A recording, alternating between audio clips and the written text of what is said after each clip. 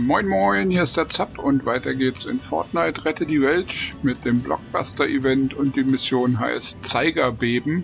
Hilft Dennis dabei, die Existenz von Zeitsprüngen zu beweisen, indem du Uhrenteile sammelst. Uhren sind am häufigsten in Stadt- und Vorstadtzonen zu finden und wir sollen vier Uhren sammeln.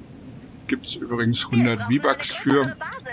Und hier haben wir so eine Standuhr, die für diese Quest zählt. Und die kann man nicht mit E aktivieren, die muss man einfach kaputt hauen und dann kommen da Uhrenteile raus. Nummer eins. Ich brauche Uhren. So viele wie du finden kannst. Warum? Um die Zeitsprünge zu messen. Wir müssen das Netzwerk zerstören, bevor die Zeithöhlen Summer erwischen. Das habe ich doch schon mal gehört. Das kommt wegen der Zeitsprünge. Sie machen einen ganz kirre. So als wäre alles nur noch ein Film. Okay. Dennis ist ja eigentlich sonst immer eher ein bisschen naiv und dümmlich, aber vielleicht ist er einfach nur verschrobener Professor und inzwischen ist er dann zum Zeitforscher avanciert oder er labert einfach Blödsinn. Kann auch sein. Schauen wir mal weiter, dass wir irgendwo Uhren finden. Das Problem ist, ich habe auch noch eine andere Event-Quest, die ich euch natürlich auch zeigen will, aber nicht im gleichen Video. Deswegen habe ich hier Ausrufezeichen auf der Map, die nicht zu der Quest gehören. Macht es etwas komplizierter. Hier scheint aber nichts zu sein.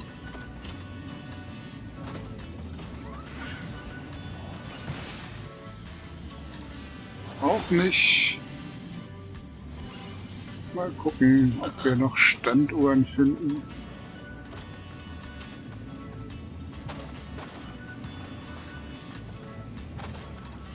Vielleicht hier im Haus.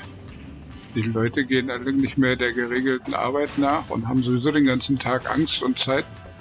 Da brauchen die auch keine Uhrzeiten, wie lange sie schon ängstlich in der Ecke hocken. Deswegen gibt es nicht mehr so viele Uhren.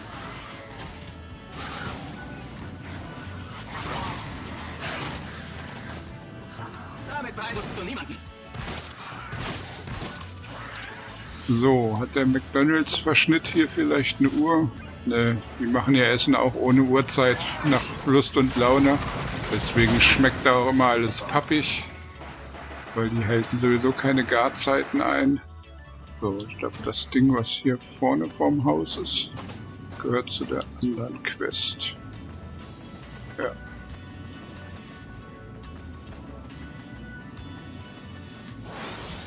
Das ist gerade das einzige Ausrufezeichen auf der ganzen Map, obwohl die schon ziemlich aufgedeckt ist.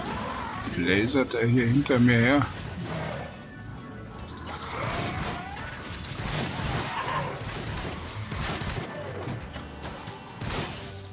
Ich mal hier im hochherrschaftlichen Herrenhaus gibt's eine Uhr.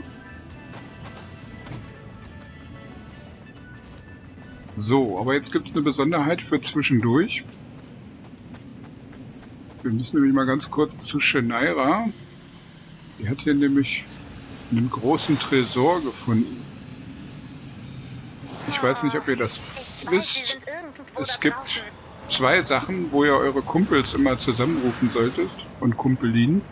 Und zwar, wenn ihr so einen Tresor hier findet, so Silber mit goldenem Rand, oder eine Level 5 Kiste, die rechts und links am Rand so Zacken wie eine Krone haben.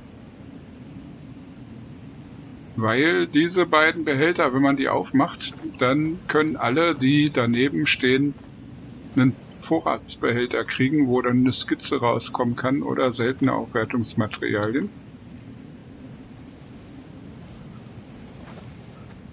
So, Yosso ist auch da. Jetzt macht Shanaira die Kiste auf, da den Tresor. Und hebt alles auf, was ihr gehört. Aber für jeder von uns dreien kriegt jetzt hier einen epischen Vorrat. Also immer alle zusammenrufen, wenn ihr eine solche Kiste oder einen solchen Tresor findet. Das hilft uns bei der Uhrensuche allerdings gar nicht. Ich glaube, auf dieser Map gab es nur diese eine Uhr. Darum machen wir hier mal einen Schnitt und dann geht's auf der nächsten Map weiter. So, neue Map, neues Glück. Hier haben wir die zweite Uhr. Und da kommt auch was raus. Wieder legendäre Uhrenteile. Also, Und hier im Haus soll auch noch irgendwo... Ziemlich deutliche Beben. Und dieses eine Beben war genau, als ich auf die Uhr guckte.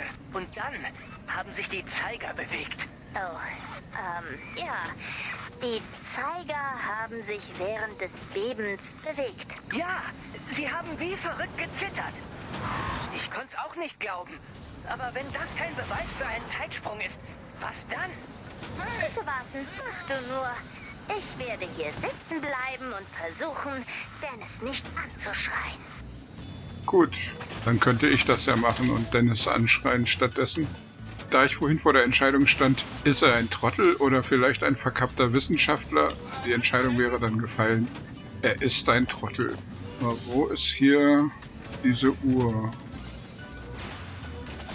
Sagt irgendwie, sie wäre oben, aber ist es doch nicht. Und jetzt ist er weg. Hm. Hing da eine Uhr an der Wand und ich habe es nicht gesehen von außen. Das ist blöd. Habe ich, glaube ich, gerade eine Uhr zerstört. Wobei, wenn ein Item drin gewesen wäre, dann hätte das da eigentlich rauskommen müssen. Suchen wir mal weiter.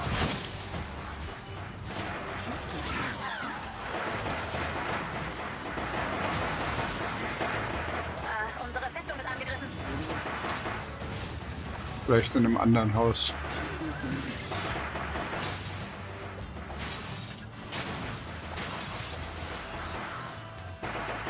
Schauen wir mal hier. Hm, scheint nichts zu sein. Mehr Uhren bitte.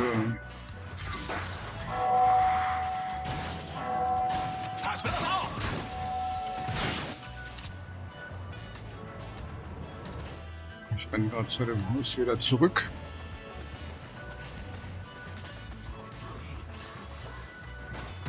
Andere Leute haben Gartenzwerge im Vorgarten, die haben hier Laseraugen. Hier ist eine Uhr im Haus. Irgendwo noch höher. Das ist eine Schatzkiste, aber in Schatzkisten gibt es keine Uhr. Vielleicht ist es auch im Nachbarhaus. Hier oben vielleicht.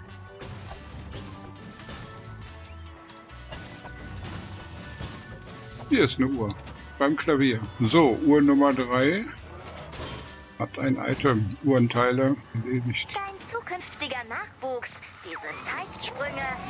Hat das was mit dem Zeitreise-Filmfestival von Dennis und Summer zu tun?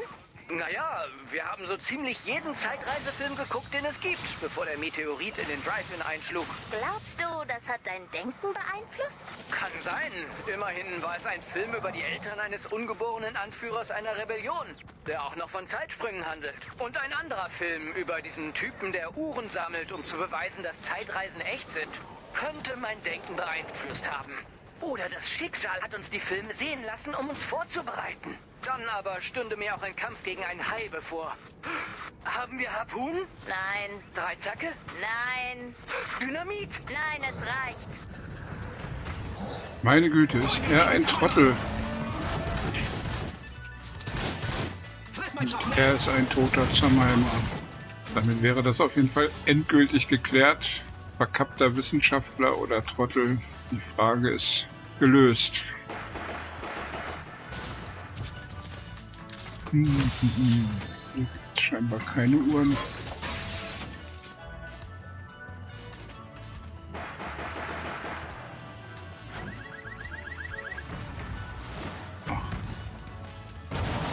Schon wieder ein Zermalmer hier. Das wird dir nicht gefallen! Friss mein Schaf, schnell! Ins Gesicht, Kollege. So.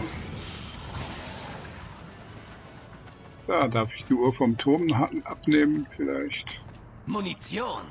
Die würde doch. Ja, die, die geht sogar wirklich. Also, wenn ihr keine Uhren findet, Uhrentürme funktionieren auch.